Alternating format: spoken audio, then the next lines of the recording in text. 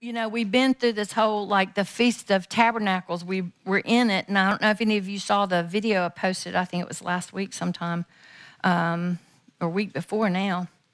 But the the Lord is speaking a lot about water, and so I was like, okay, here we are. Today, actually, to, today at six o'clock, six p.m. starts the last day of Sukkot. And uh, so the Feast of Tabernacles, we got, we got one more day. If you didn't get your joy in this week, if you just really didn't rock the joy, it's, you get one, one last chance today. The six to six tomorrow.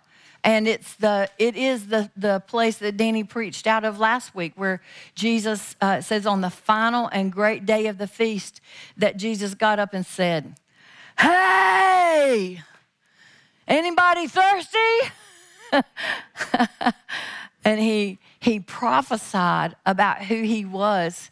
And he was prophesying as much to us as he was to that group of people gathered. He's still saying it because in that ver- in the way he spoke it, it doesn't say if any of you shall come and take a sip from me. He says if any of you keep coming to me and keep on drinking from me and keep on believing in me, if you'll keep coming and you'll keep drinking and you'll keep believing, he said, I declare to you, there'll be rivers flowing out of you. Because this is the paradoxical river of God. This is the river that quenches your thirst and creates it. And so there's no place to stay but in the river if you're thirsty and you need quenching, but you also need to be thirsty. And so this is the beautiful place. And I was like, Lord, I don't know how I want to preach about the river. I want to preach about the river. And he said, Go, go back over to Proverbs 31. I got to show you something. And I said, Okay. So this is what this is what the Lord gave me for this week. If you look at, if you're looking with me, it's Proverbs 31 17. and in the NAS, it, um, it reads like this She girds herself with strength and makes her arms strong. She girds herself with strength and makes her arms strong. Now, this woman I see uh, she, to me, is a picture of where we're headed. She is a picture of the end time church of Jesus Christ, a force to be reckoned with. She's called an excellent wife, but the word excellent means mighty man of valor. It's the exact same word. So, those men that were described as David's mighty men, the heroes of the days of David, same word that this woman is being described as. She is a force to be reckoned with. And I mean that in the best way possible. she is a woman of wealth. She is a woman of wisdom. She has her husband's heart and she has his back. And he has confidence in her. She is diligent. She knows how to acquire whatever is needed by her household and those living around her. She knows how to find new supply lines. And this, our, the church, River City, and the church of Jesus at this moment is going to have to know how to open new supply lines during this season. We may have to go places we've never been in the Spirit and open up and walk through places or portals that we have we didn't even know they were there. Scriptures, both old and new, will come alive to us.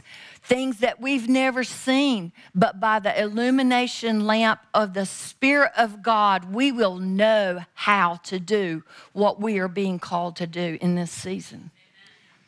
I just believe that. Thank you for amen in that.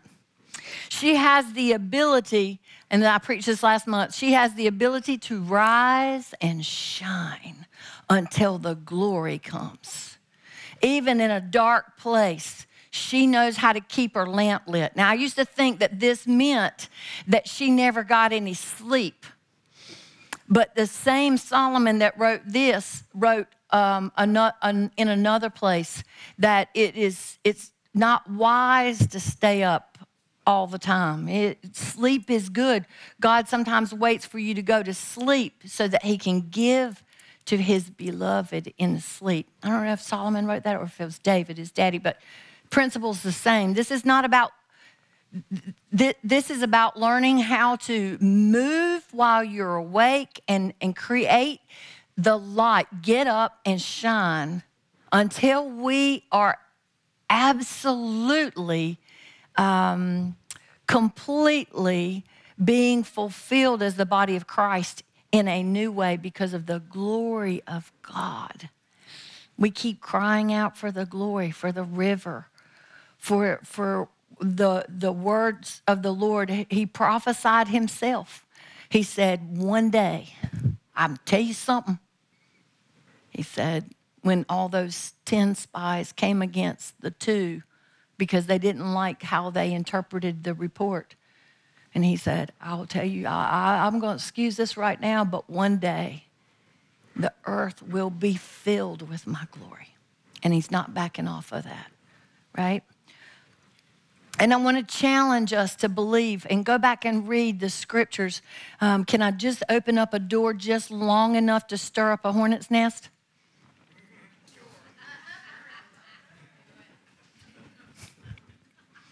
You know, all this, uh, many times in the scripture, especially in the New Testament, it talks about the apocalypto of Jesus, the pull back, like somebody's pulling back a curtain, the apocalypto of Jesus. And many times, commentators from the past and preachers and teachers have used that phrase.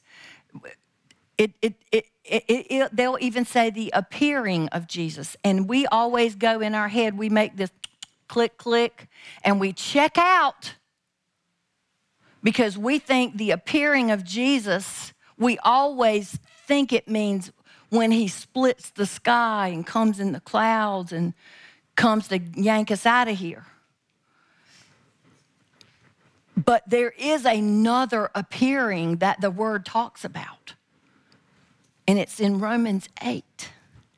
And it said, All creation is groaning for the sons and the daughters to finally take their place, the appearing of Jesus through the body of Christ. So I don't know. Maybe that's just a little bit of a shake and wake, you know, shake and wake call Maybe, maybe we need to change some of the pictures in our heads. Jesus is coming back. He is going to split the sky. But he's not coming back for no broke down bride. She's going to be glorious. This is the way he does things, you know. It's just that it's his, it's his MO, it's his thumbprint. he, he's coming for a, a goodly woman. And so, um, this woman, we see in verse 17 that she, everything about her exudes strength. She's strong. Um, I, I, meant to bring a, I meant to bring a belt, but I can't, so I'll use this. This is what it means to gird yourself up. She, and in, in, maybe in the King James, it might even say she girds her loins. I can't remember. This is what it means.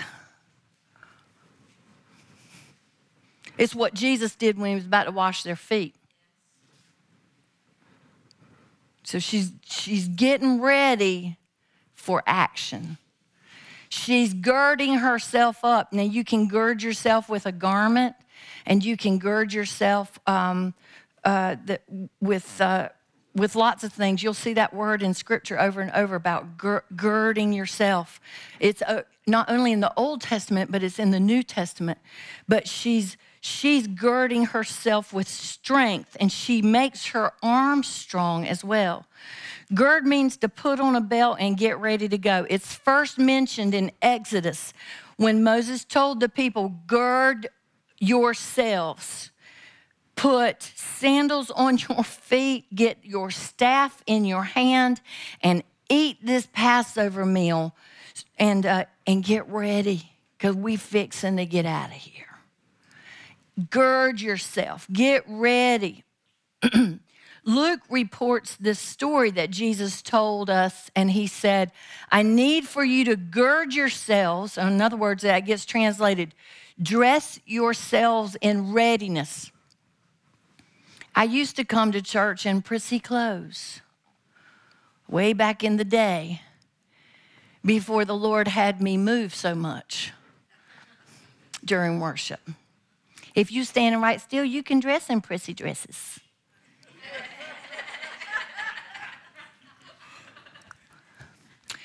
You dress for what is coming.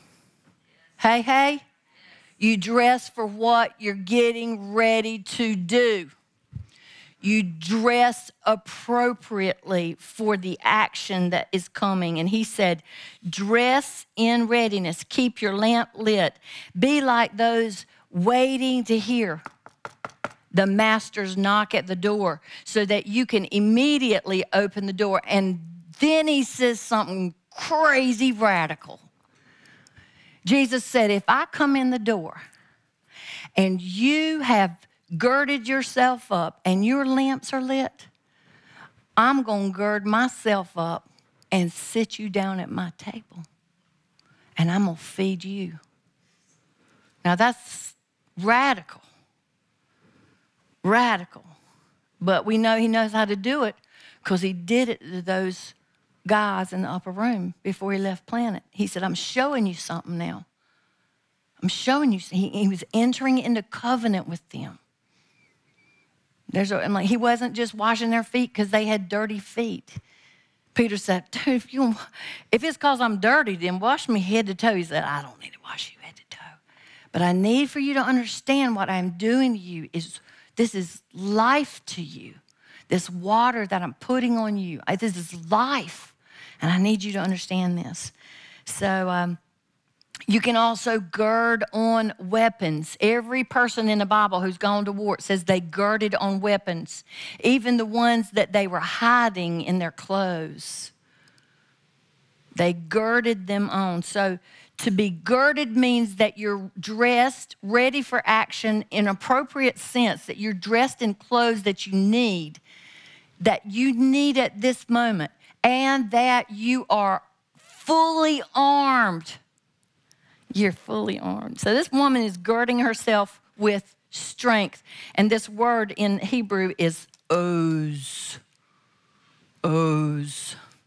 She's girding herself with strength, and it means might, boldness, a force to be reckoned with, security. It also means oz means majesty, She's girding herself with His majesty, His praise, and His power.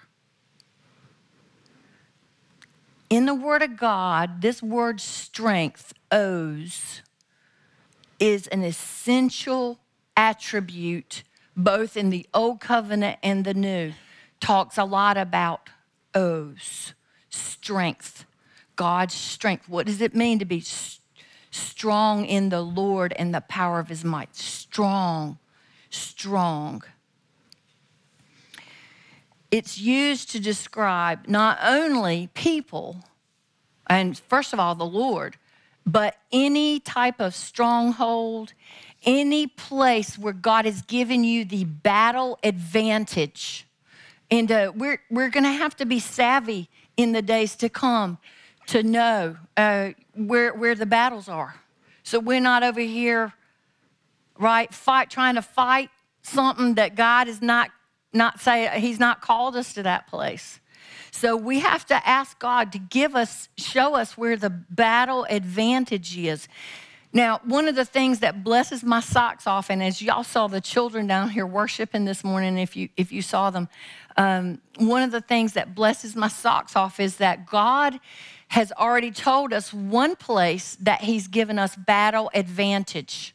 He spells it out in the Word of God really well. It's both in Psalm 8 and then Jesus repeats it out of his own mouth when the children are praising when he comes in the city. And Jesus said, Do you not know the word of God that says that if you shut that, that if you shut their mouths, the rocks will begin to break open. It'll crack this place all to pieces. You want them to worship because God has established himself and oz in the mouths of babies and children. And why do we think the enemy is hard at it trying to kill the children of this generation and the last, for the last 50 years in a legal way in this country? Because he knows about the oz in the children's mouths. I've said it before. Um, I really feel like, you know, we always think that we're here because we're here for the children, and we are. We're supposed to be guardians of the children. But in a very real way, spiritually, children have been sent here for us. They open their mouths and they do warfare. God, it says God built a bulwark, a, a place, a stronghold in them that it, it, this is crazy. It's crazy to think about that. Of course, it will change how you see when your baby starts crying because you're like, oh, Lord Jesus. I was trying to get him to be quiet, but crank it up, baby. Crank it up, right? That babbling, we do not understand it. We don't understand it. And it's still power, it's pure power pure power. Uh, twice, just in the last few days, um, somebody has either sent or told me about their child prophesying. Uh, one, one of those times, I think, um, was Dana and Mav in the car. And Mav said, I hear rain. Dana said it wasn't raining. And then she realized what he was saying because she could hear the sound. She's like, It is rain. Rain is coming. And this, a child saying this. And then this morning, Jessa said that on the way here, um, Ez said, I see two mountains. He's never seen real mountains in his whole life. He's never been to the mountains. And then he got here, and I didn't even know he'd said this. And I said, Ez, look at the picture while we're worshiping. It's mountains. And he did his eyes like, I, I wondered what he was thinking because his eyes got so big. It was like he had seen those mountains in the car. So we began to, we were worshiping about mountains and God's ability to move mountains. Children bring it in the spirit. And we got to start really listening to what they say. I mean, they might say some crazy stuff too, but you know. That's no different than any adult I know. Saying some crazy stuff.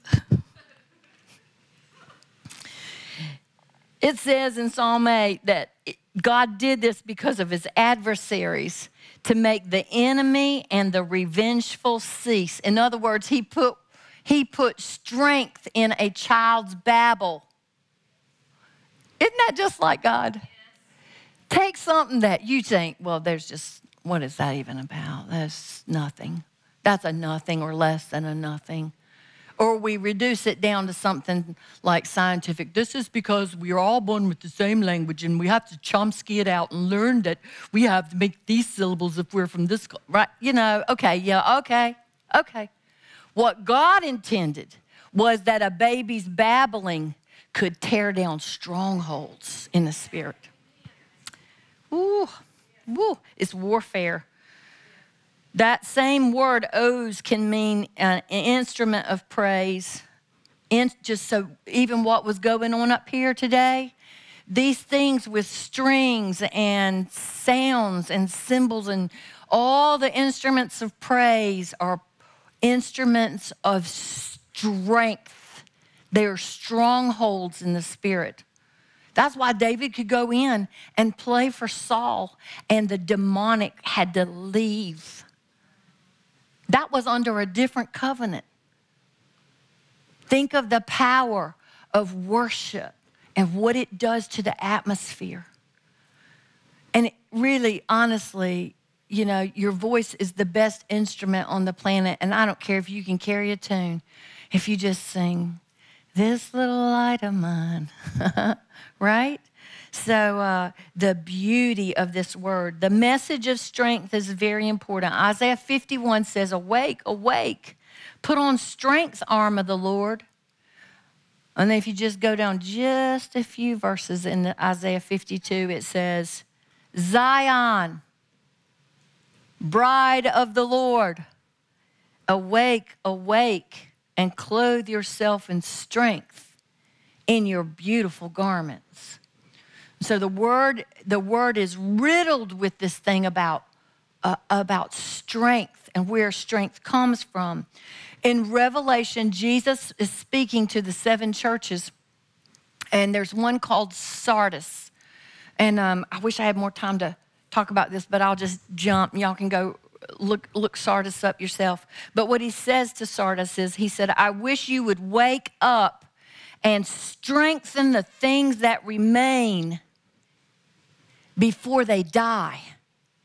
In other, in other words, Sardis was carrying some things that were of God, but they had gotten so frail and so weak because they had chosen to stay asleep. And in history, actually, the city had been conquered at least twice because nobody had the forethought, I guess, to put anybody on the wall to be a watchman.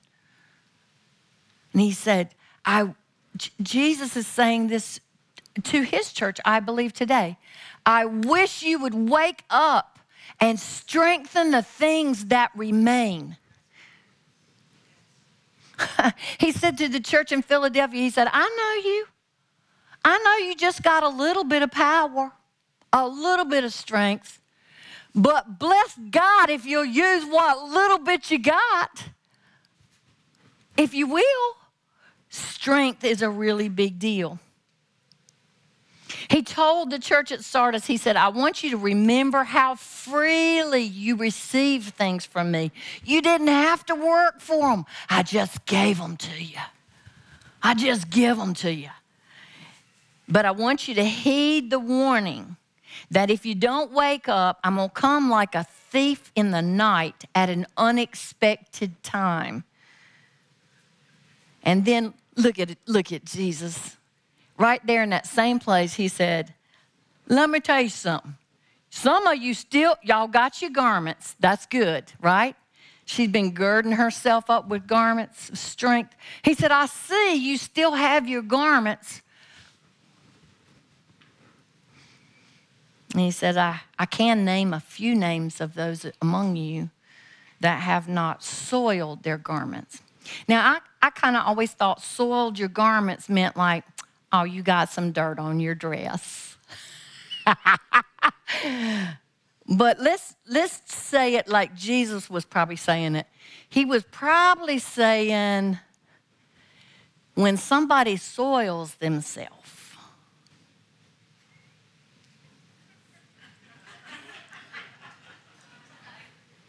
He said, A few of you have not soiled yourselves.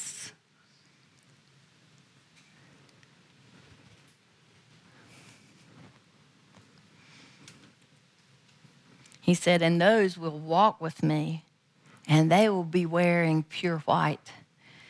And for anybody who overcomes, there's the promise that that one will be dressed in white garments, and I will in no shape way or form erase their names from the book of life. And I will stand in front of my Father and I will confess that one's name before my Father and before his angels. And Jesus' instruction for that whole message to Sardis is wake up and start to strengthen the things that you have. We, we're going to be that church, right? This end time church is going to be a woke church for real, not like they talking about out there. We're going to be awake for real, and we'll be strong. We're going to be strong. One other fascinating passage puts this met this thought of girding yourself, wrapping and strengthening yourself, just like it is in Proverbs 31, It's in 2 Samuel 6 14. And when you use the word to understand the word, this is what I love. I could, I could just, oh, so good. Just, oh, don't you just get in the word? Sometimes you're just like, oh, this is over here too. And this is over here. Oh, did I knock it? Oh, uh, thank you. I can tell you're about to get going. So I'm girding. I'm girding.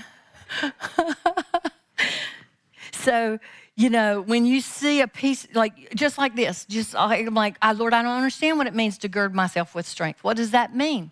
I don't know how to do that. And he said, okay. Open it up.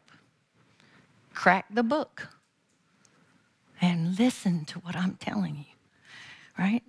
See, because when you use the word to understand the word, you get the picture starts to come together. And in the power of the word, it brings its own power to create. And so the word itself becomes a prophecy that can speak to me and create even when my mind does not understand anything he's telling me, which is a lot. But the Word of God can create on the inside of me and transform me so that what's on the inside of me that I carry now begins to shape and form the environment around me. We have to be people of the Word. There's, there's not another way to do that.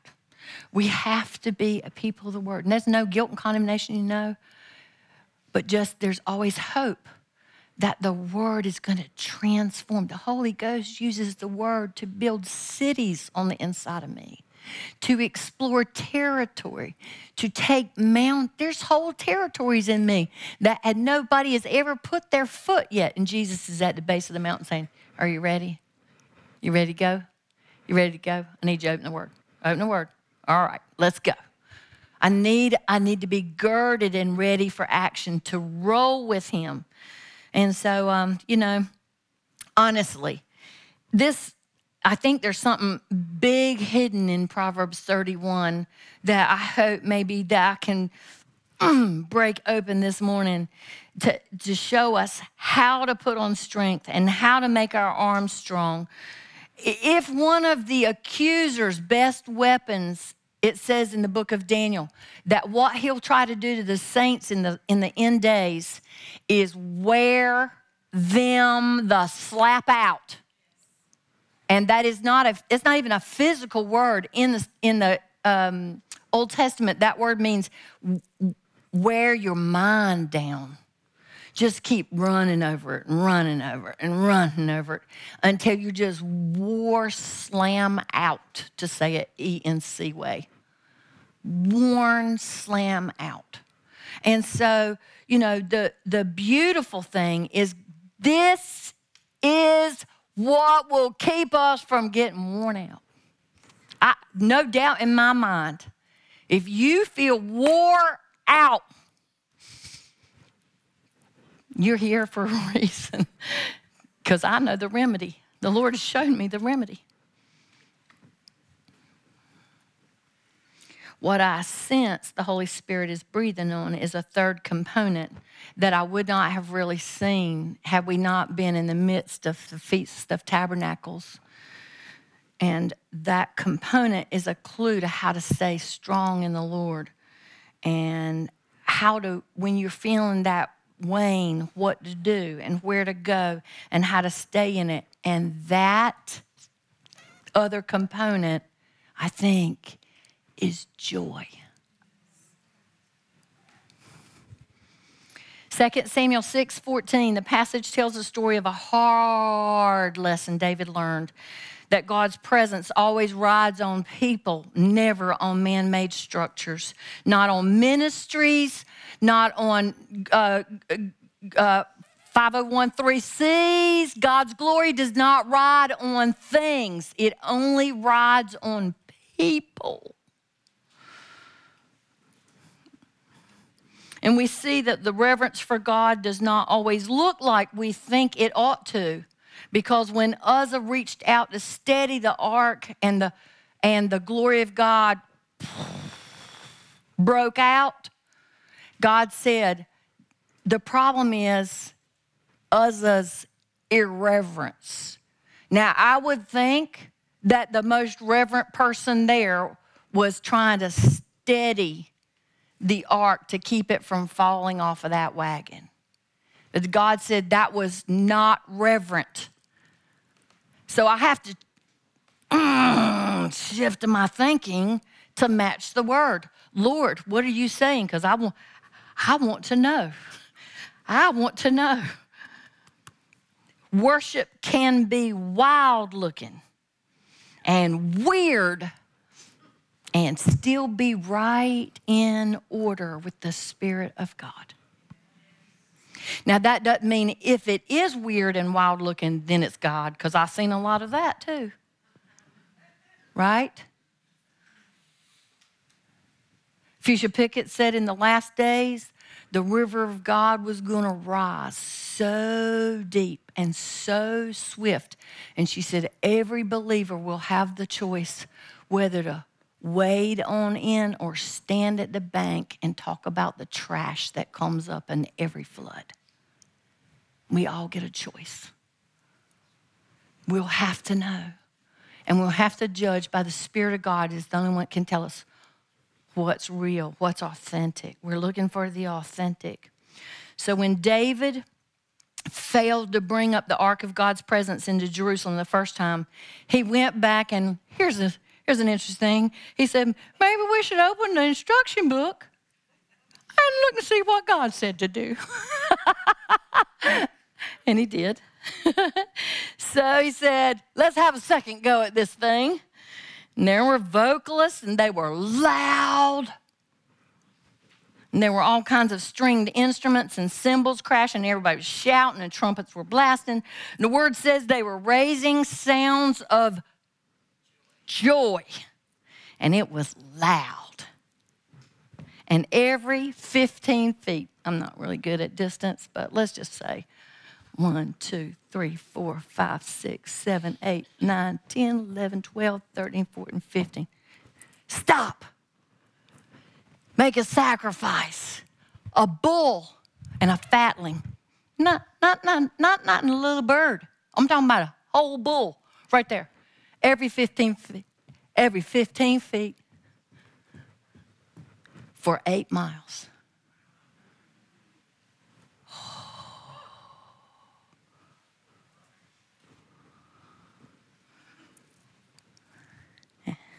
Did I mention it was loud? And the second attempt, it says David was dancing before the Lord with all his strength, and he was girded with a linen ephod. And y'all know the story. David was leaping and dancing and making merry before the Lord. And that's literally the way the word describes it. And Michal, Saul's daughter, David's wife, was somehow not down part of the thing was going on in the street. She's somehow up in an ivory tower looking down out of her window. Don't know how that happened. That should let you know right away she was not in the river of joy but she was standing on the banks, running her mouth to herself. And it says she looked out of that window and saw David and despised him in her heart. And she said, when she came down later out of her tower, Well, my, how the king has distinguished himself today, has one of the foolish ones with no shame.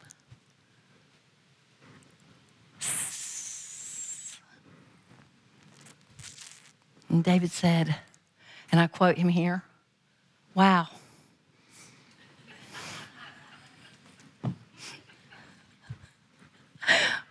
wow. He said, God took your daddy and his whole house out of the kingly line. And he put me in in his place. And if you think I looked undignified today, You need to hang around because I can be more undignified than this. Because I will celebrate, for the Lord is my strength. No, no, no, no, no, no, no, no, no. He said, Today I was clothed in strength. He said, There may have been blood and guts for eight miles, but I was dancing in the river. There was a river that day that was flowing from the throne, and as David's life has done for us frequently, his actions set us a precedent. We should learn from David.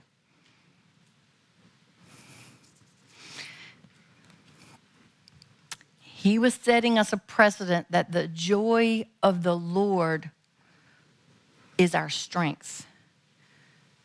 That kings have to worship in joy. Because our King Jesus was anointed with the oil of joy above his brethren, all his companions. Jesus was anointed with joy. And it's a secret to operating in the strength of the Lord to stay in joy. The epitaph from the word Michal said, Michal, it says about Michal that she was barren until the day of her death. Just like, it's like raise up her tombstone right there at that event because she never repented and write on it, never had anything but barrenness the rest of her life. And now cue this judgmental without joy brings barrenness. And we all make judgments. I mean, no, no kidding. I mean, glory to God. The things I'm doing now, if I'd seen myself 20 years doing it, uh, 20 years ago doing it, I would say, girl, you have lost your mind. That is not right. But I stay open as much as I can, Lord. Teach me. Teach me, Lord. Teach me. My God, this is too important to blow this. This is too important.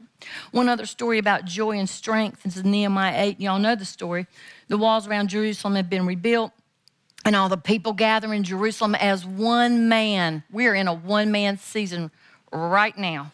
It's the Feast of Trumps, and Ezra stands up to read from the scroll, and the people stand, and Ezra keeps on reading for six hours. And instead of them leaving quietly to go to Burger King,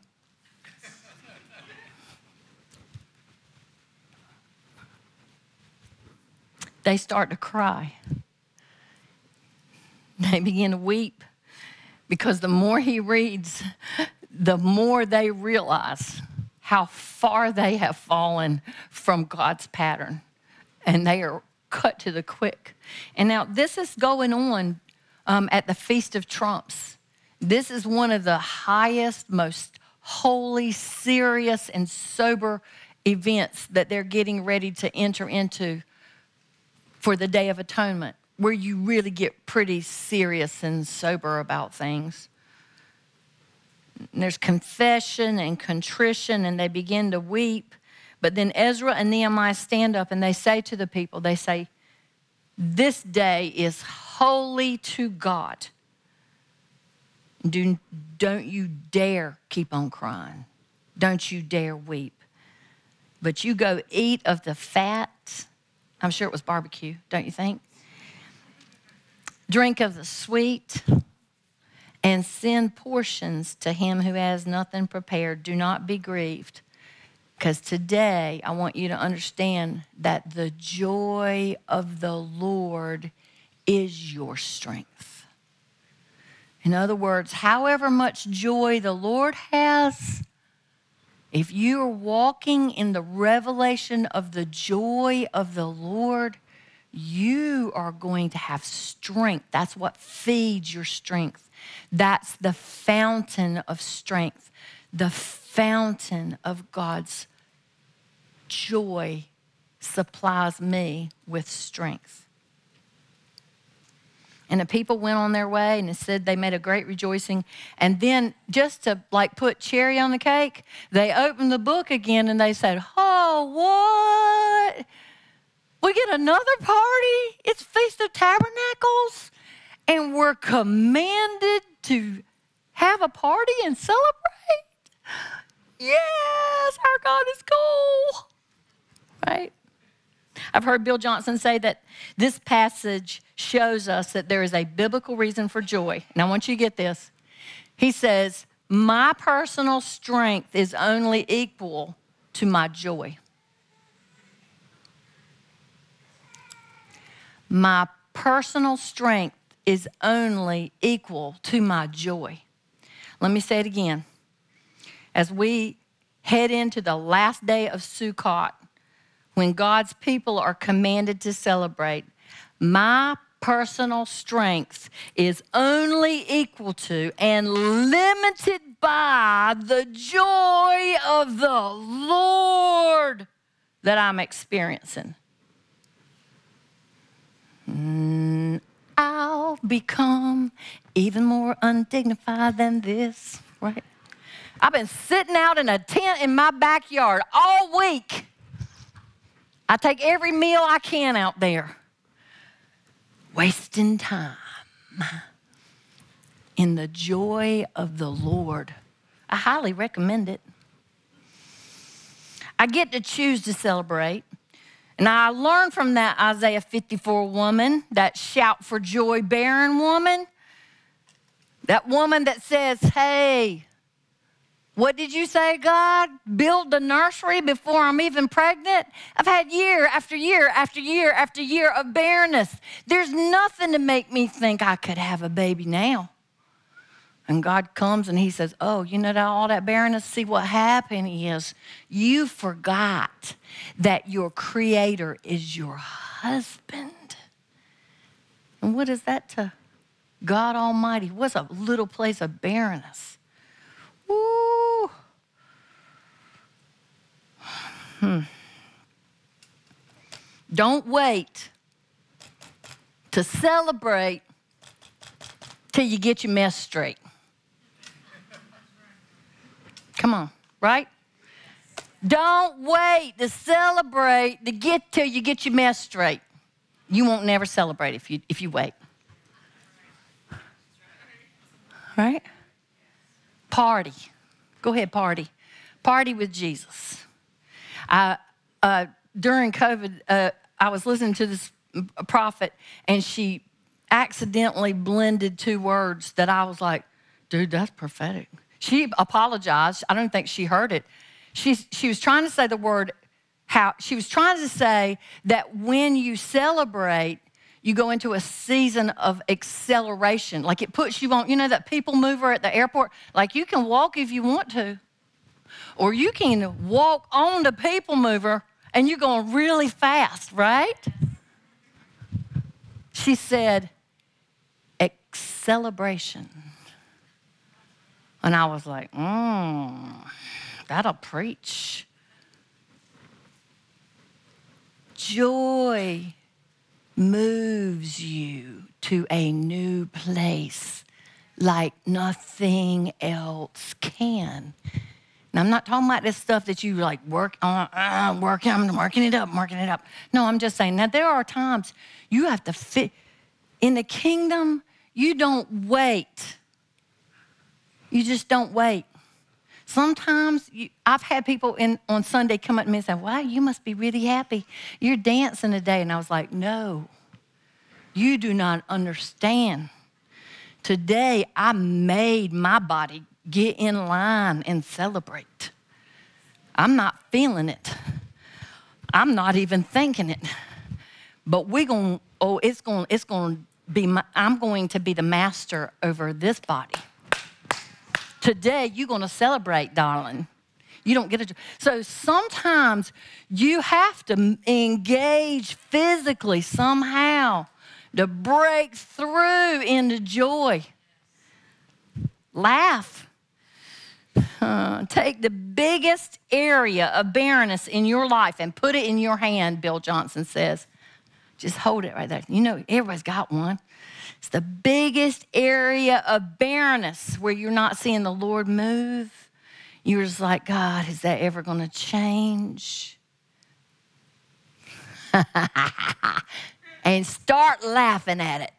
Just laugh at it. Shout with joy because you don't know what I know. You don't know what I know. Oh, God, He's going to break it. God will break it. God will break it. Amen. Amen. The pure expression of joy, Bill says, is the most reasonable solution for any barrenness that I'm facing. And Lord, if that's not enough, if you look at verse 25 of Proverbs 31, you'll see that this woman's clothing are described as strength and majestic beauty, and she laughs at the latter days. what would happen if you just literally took that thing that's just been gnawing, gnawing, gnawing, and you started laughing at it instead? You would look crazy. You do look crazy, but we're crazy people. We don't do things like the world does. The world says, worry about it. Worry about it. Oh, talk about it. Worry about it. Just talk about it. Talk about it to everybody. Or don't talk about it at all. Hold it in. And the Lord says, laugh at it. Laugh at it. You know, in Isaiah 54, it says, oppression will be far from you because you refuse to fear. Now, see, our minds will hear that and we'll say, oh, oh, oh, I won't be afraid because I'm not oppressed. That's not what it says. It says, because you do not fear, which is the door of the enemy to get his foot in, because you refuse to open that door to the enemy, you won't be oppressed. Mm. Ooh. Ooh. Ooh. Just as last year I read again, she laughs at her future, at her latter days. These prophetic words have brought me a greater level of alignment with His word. It was a correction. And it happened when I just started muttering this word. I started meditating on this word. Lord, Proverbs 31 woman, she laughs at her future. She's not hearing voices tell her how bad it's going to get. All the things I'm not going to have, the things I've had that I might lose. Think about what happens to us as we age. We get, our world many times gets smaller and we get more fearful and tighter. And this woman knows how to laugh at her future. Hmm. Come on, that's somebody's word. The devil says, I don't think anyone much has uh, thought that the last few years was a laughing matter, Angie.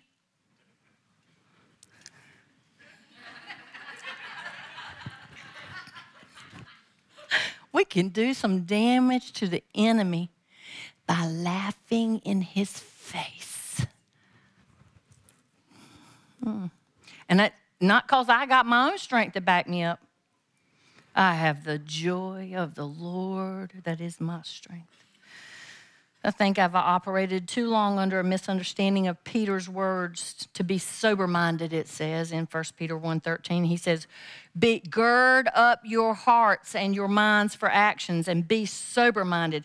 And somehow in our Western way of thinking, that starts looking like you got bathed in pickle juice instead of baptized in living water. It's just not a laughing matter. You shouldn't be having that much fun at church. I'm feeling a little out of control here. Things are a little out of control. There's like a there's a lot going on. People say, "Oh, I'm just not that emotional." Oh, maybe you need to be. God created you in three dimensions, and one of those has the ability to feel. We don't all have to do the same thing, but we should be able to feel and experience a God whose primary heart of love wants us as his children to experience him. So, if you back up in that first Peter 1, you'll see that Peter says, This is uh, what we do. We greatly rejoice with joy inexpressible and full of glory.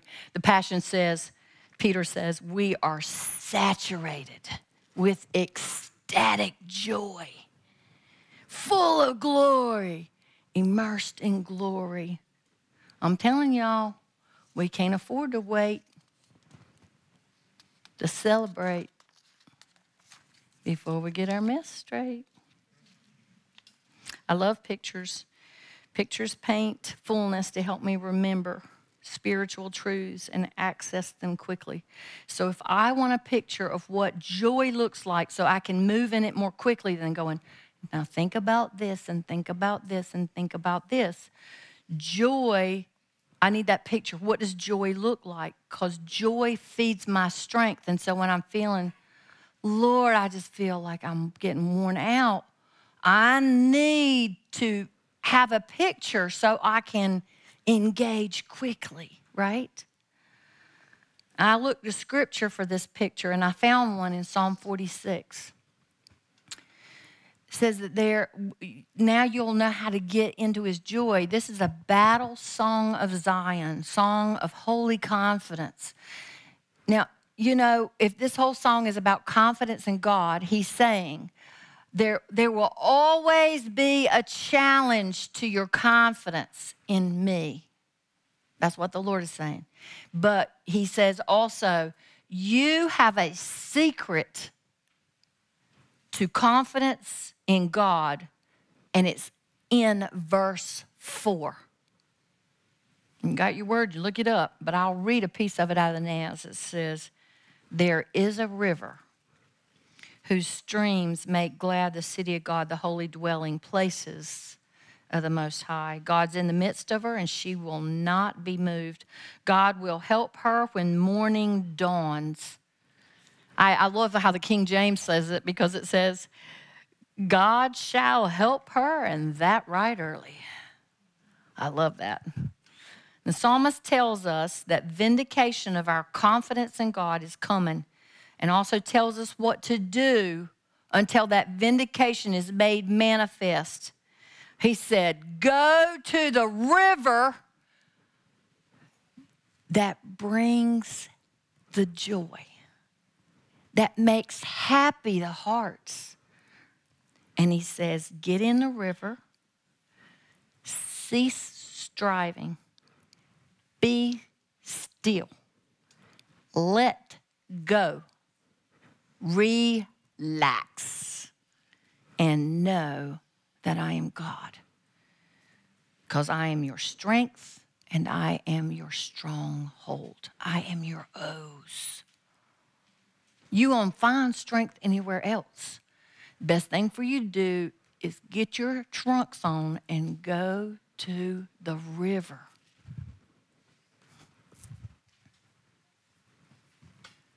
There's a river of joy, and the water of life is flowing from the throne. And Jesus said, If you'll just keep coming to me and keep drinking from me, rivers will start busting out of your belly.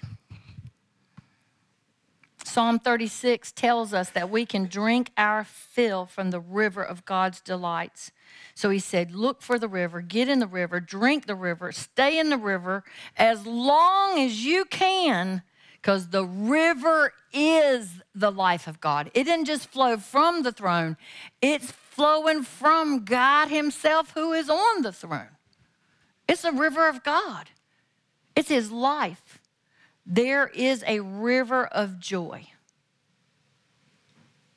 One of the prophetic words for this year is that we will, as the church, as the church of Jesus, we will have to war for the water. Now, when I first heard the prophets start saying that, I was like, what does that mean? Do I need to go out and buy one of them straws where you can suck that dirty water in and it's clean? You know what I'm talking about? I was like, what you talking about? War for the water. Somebody getting ready to mess up our water. What is going on, God? Do I need to dig another well? What are you talking about? I don't know about all that, but I'm going to tell you this. I'm pretty sure about this. if you think you won't have to do some contending to get in this river and let go and relax, and good luck with that. Tell me how that works out for you.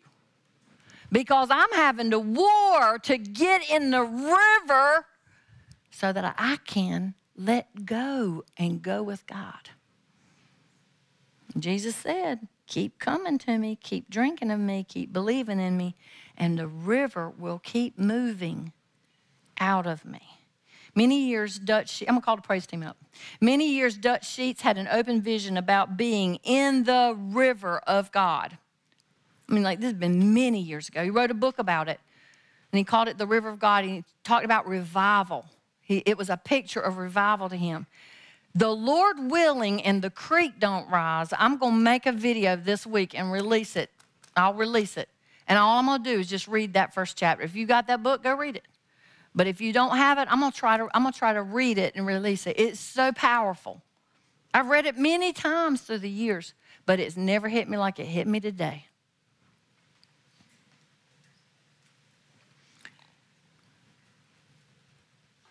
Dutch reminds us that to be in the river is to be in God. To drink from the river is to drink from God. And to release the, the river is to release God. In other, in other words, the river is not just some experience that people have, it is the life of God Himself.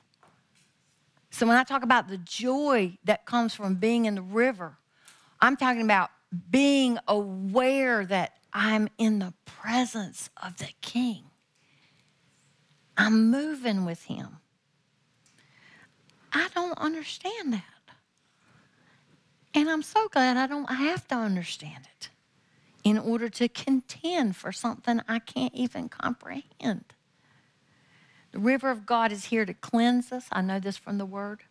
It's here to deliver us. You can drink the river, you can even breathe in the river. The river is for rest and refreshing. The river is full of joy and life.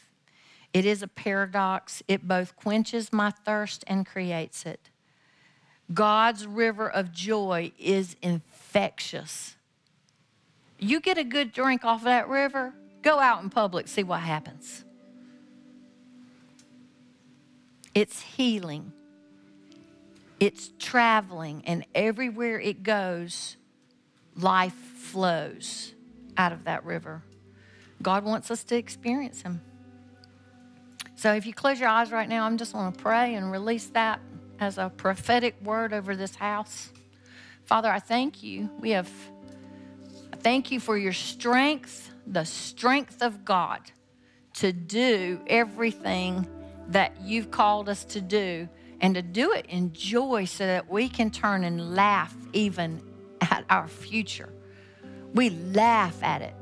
And Lord, we thank you for um, girding us up with your strength as we step into the river, Lord. I thank you for the Ezekiel River now that's flowing, that begins at the ankle and moves up to the knee and then up to the hip and then eventually waters so deep Water so deep.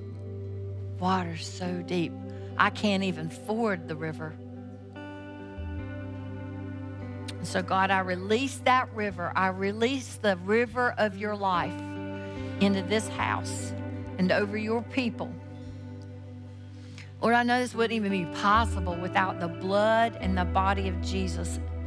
And so we thank you, Lord. Even today, I get, we get to we get to sit down and just in a small way, experience what that's like when we hear the knock and open the door to the master. We are dressed and ready. And he said, Oh, baby, I want you to sit down now and let me feed you at my table. So, Lord, I thank you that everything we have comes from Jesus, everything that we have comes from God All our fountains are in you, Lord. Everything that we need, everything that we need, we already have in you. And so, Father, we thank you for the revelation of this season and what you're doing with the body. And, and God, we, we give you honor and glory. We just prophesy to the waters that they are rising. oh, Lord, I thank you. In Jesus' name, amen. Kept hearing this little song I've been singing. It's about the river rising. And there's a line in there that says, You haven't seen the real me until you've seen me in joy.